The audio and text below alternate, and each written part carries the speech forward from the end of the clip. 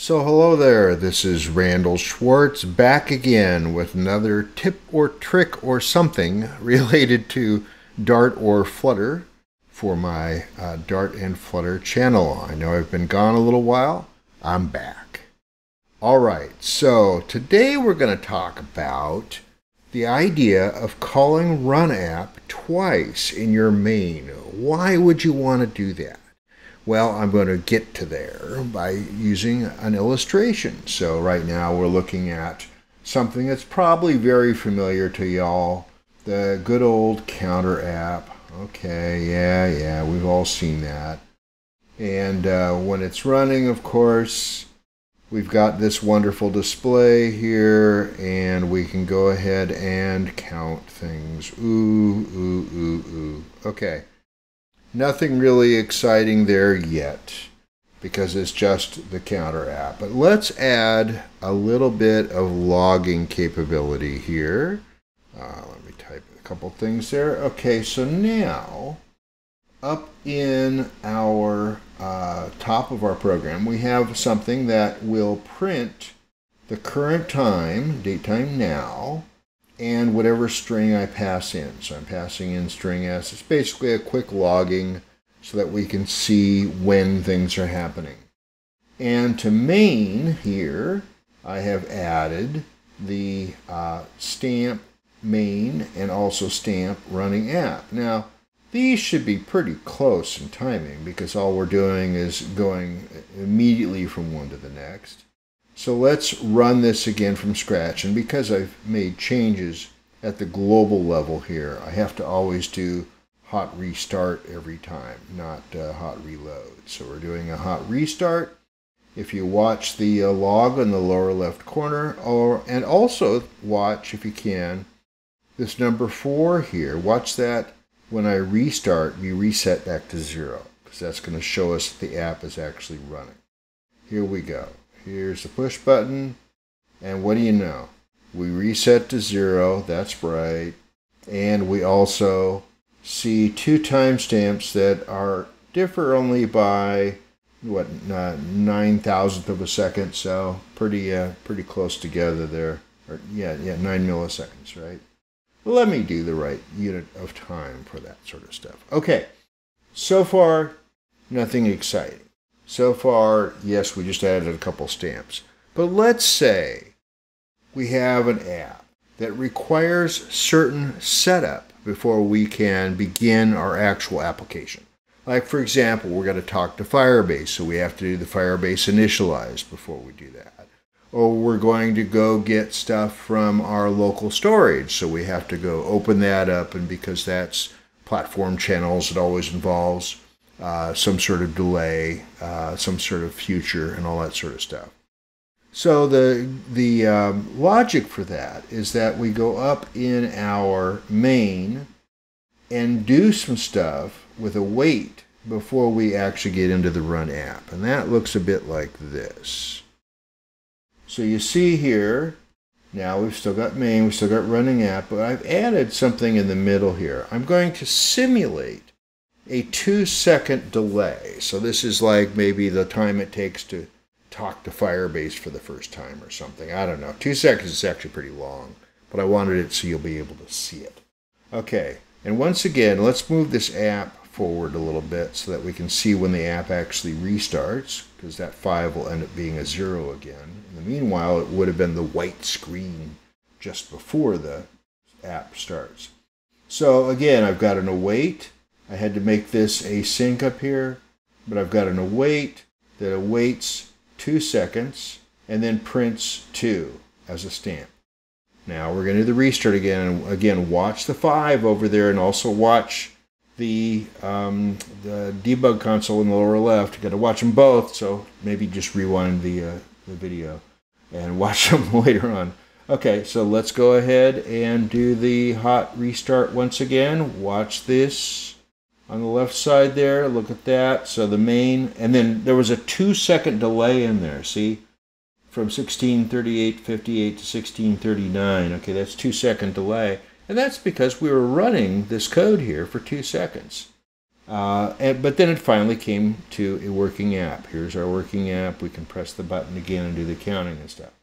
So that's not bad. So that means that we'll have two more seconds of whatever the native splash is, whether it's a white page like it is to begin with, or whether you've done something fancy with Flutter uh, native splash and done some really, really cool things. I've seen some really remarkable things there. That's not bad. But let's say it's not just two seconds. Let's say we also have, ho ho, four seconds. We've got a four second thing as well. So now I've got two seconds to run and four seconds to run, right? So what happens there?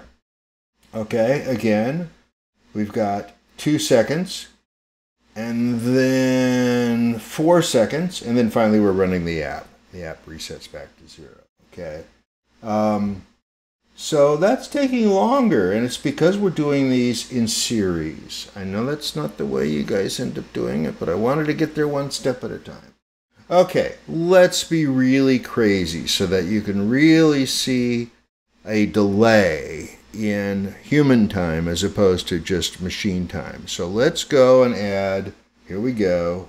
Did, how many people guessed adding a six second one just to have an even longer one? Or I bet some of you guessed eight, like it's power to two, but uh, I just picked six because it was here and easy. Okay, and again, the two second will run, the four second will run, the six second will run, and then finally our app is going to start up. And here we go watching it. Okay, great. So there's our two second one. Here comes the four second one, a little longer. And then the six second one, even longer. And finally, boom, there's our app up and running. Okay, so this is often what people do when they have some initializations to run first, like they have to go out and touch a database or do something before their real app can run. Okay, but one thing we can do, even without introducing some new ideas, is we can actually take these three things and run them in parallel. How do we do that? We do that by including a future wait. Now, future wait takes a list of futures. Here's our list of futures. And essentially runs them all in parallel, fires them all off in parallel, and waits until all of them have either completed or errored out. So in this case, the 2, the 4, and the 6 are all going to be racing in parallel all the way down. And now let me uh, tap this up a little bit just so that we can see when it finally resets. And here we go. So watch what happens now. So main runs, okay, two seconds, and just four seconds, and just six seconds. So there was only six seconds between main and printing six. If we look at the timestamps over here, we can see that. And once again, our app is running, but now only delayed 6 seconds instead of 12 seconds like it was before. And again, our app is alive. Okay, so this isn't bad.